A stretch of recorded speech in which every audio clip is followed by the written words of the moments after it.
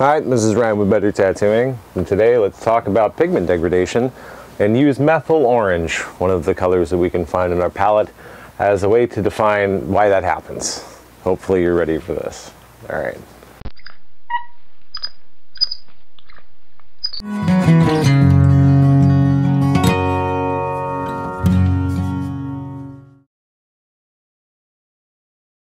Now we're back after that stuff. I don't know about the title card. I thought it was funny because there was some random hillbilly stuffs going on. And I figure that this is kind of, you know, oh, I'm in a grouge and shit, you know, might as well. Anyways, pigment degradation. So we've been having a lot of people talking about, oh my gosh, what is going on with pigment? Why isn't it safe? And uh, the reason why, I mean, for a few, there's a few reasons why, but I mean, like one big thing is that we're going to see colors just fading, right? And degradation is usually going to be caused by interactions with light. And when we have, well, this one's like dead dead. When we have a product that is known to make some really, really, really amazing colors available, some brand, product line, whatever, and uh, those colors seem to just disappear when they're in the body for a period of time, there's always questions being asked like, why is this happening? I mean, we've known for a long time in tattooing, which I know the majority of people have not been tattooing for a long time, that orange specifically, it, some browns as well, is one of those colors that just does not last. And it's because of how the actual chromophore inside of the pigment is uh, going to interact with its environment. Uh, chromophore is just an aspect of a molecule that interacts with light energy and uh, through excitation of particles interacting with it, escapes an electron at a specific energy level that produces a wavelength of light. Fun. Okay, so when we take something like methyl orange, what happens is the sun interacts with it, and where we have this double bond at the center of it here, I gotta grab a different marker while we're doing this. What happens is it ends up getting excited, and it outputs a wavelength of color. With this one, it is orange, right? So we know through basic color theory what happens with a color is a color is equal to what is not absorbed, right? Mm -mm, can't multitask.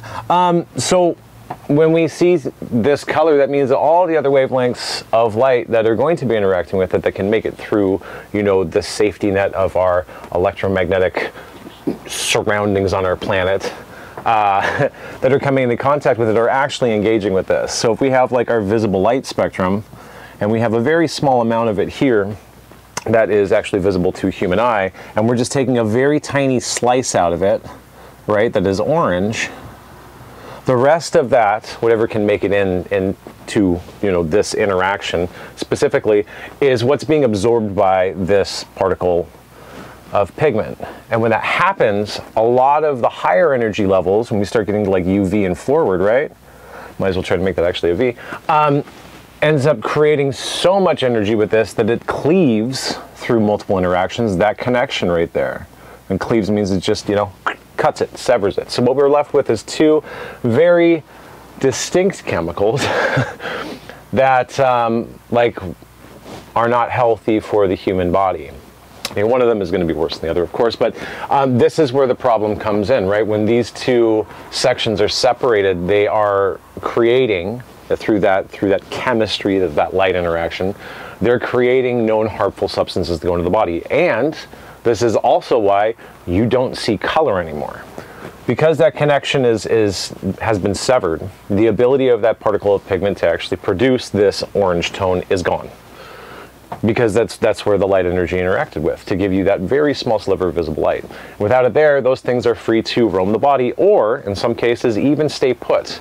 With certain other colors, when this cleavage occurs, what happens is the byproducts of it may not be easily absorbed into the body, but they just sit there. So now you have pigment that has no ability to produce color taking up space in the skin. And so when you go to repack over top of it or recolor it, more often than not, you're gonna see a diluted effect of the color that's there because even though the pigment isn't in the skin anymore, air quote, because it's not producing color, there still are particles taking up space inside the skin.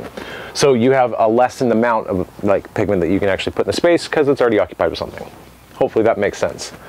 This is a problem. If you see colors that fade very quickly, it is usually because they are organic in nature, and organic is carbon based. We see carbon chains and uh, carbon rings that are going to be attached to a substance. These are usually a little bit more frail depending on the actual pigment tone that you're using. Now, orange is really specific, and I don't know if this is true or not, but I theorize or hypothesize or assume, presume, that because there's only one single uh, value of this color that's going to be pumped out, the inverse, if we're thinking about those, you know, contrasting colors, where it's going to be absorbing a whole lot of the opposite, which would be those, you know, ultraviolets, etc., which is also the highest energy source that we have, it means that it's going to be really breaking apart quite a bit. We're going to see the inverse function of anything when applied to space inside of physics, right? Sometimes, most of the time.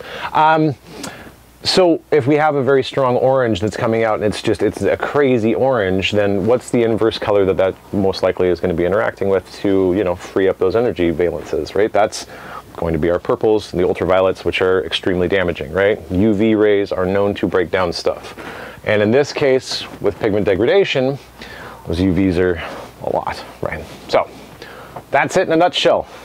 We can uh, go into specific pigments if you want. Let me know in the comments. Past that, buy a hat, support the show, listen to the podcast. We're adding it to YouTube. We didn't put up the video because who wants to see my face any more than this? Anyways, that's enough for today. It's Ryan from Better Tattooing signing off.